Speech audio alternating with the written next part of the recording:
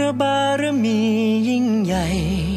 มิ่งขวัญของปวงชาวไทย พระทรงเป็นร่มโพร่มใส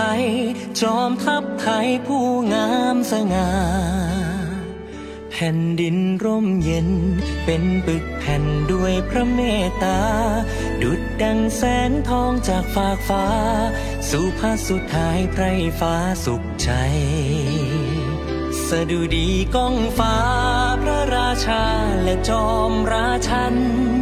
ทรงเปี่ยมพระปรีชาชาญ สมดังขัตติยะไทย